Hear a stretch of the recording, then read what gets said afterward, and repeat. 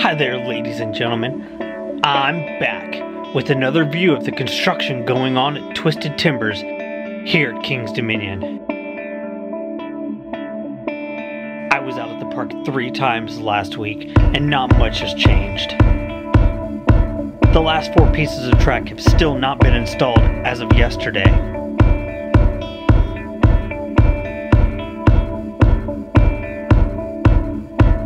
We can see the two sections right here where the track will be installed to complete all the track work going on on the ride.